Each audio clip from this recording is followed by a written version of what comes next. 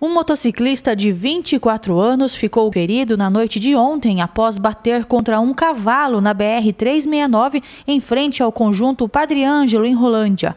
O motociclista foi socorrido pelo Corpo de Bombeiros e encaminhado ao Hospital São Rafael. Fomos chamados aí para atender uma ocorrência ali na BR-369, próximo ao lago, onde por um acaso também sempre tem alguns cavalos soltos, né? E na noite aí é, aconteceu esse acidente, essa fatalidade aí com uma moto vindo a colidir com um cavalo e o, o condutor da moto ali ficou com vários ferimentos, principalmente na região da, da cabeça ali, né, da face, é, com bastante contusão e escoriações. Este trecho da BR é um local pouco iluminado e o motociclista foi surpreendido pela presença do cavalo que atravessou na sua frente, não sendo possível evitar o atropelamento. É, ali, justamente naquela curva, é um pouco mais escuro, né? É, tem pouca luminosidade e ele não prestou atenção na, na via e o cavalo é escuro também a hora que ele viu já estava em cima. Na verdade, ele é, no momento da colisão ele teve uma amnésia que a gente chama de amnésia lacular e ele não estava lembrando o que aconteceu. Na verdade, o cavalo estava na pista, né? E ele não, não observou e veio a colidir aí com, com o cavalo. E o animal também teve ferimentos?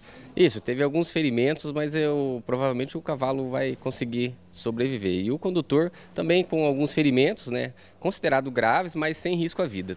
O proprietário do animal, só pelo fato de negligenciar a guarda do bicho, já incorre em contravenção penal. Além disso, se o animal vier a causar danos em veículo ou até ferimentos em pessoas, o dono poderá ser responsabilizado. Várias outras pessoas utilizam aquele local para uh, alimentar os animais, né? Tem bastante grama no local, capim, né?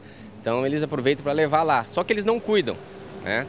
É, esse é o grande problema, não só naquela região, mas na região do, do Cassato Maru também tem acontecido ali no contorno norte, várias regiões da cidade. Sargento Simões relembra que em julho do ano passado foi anunciada uma parceria entre a Prefeitura de Rolândia e a concessionária de pedágio Aviapar para atuar no recolhimento de equinos e outros animais que vivem soltos ou que estão nos arredores de rodovias. De acordo com o que aconteceu no ano passado, né, ficou acordado aí que possivelmente eles iriam é, recolher esses animais, é, colocar numa baia e depois multa diária, porque você tem gasto também, né? Você tem que alimentar esse animal e depois de um certo tempo o correto seria, é, se o proprietário não for atrás do animal, vender o animal, né?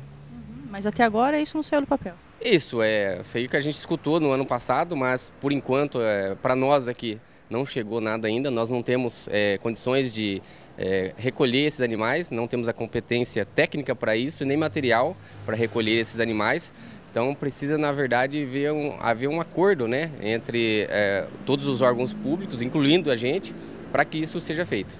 Enquanto isso, os motoristas devem redobrar a atenção em estradas com histórico da presença de animais soltos.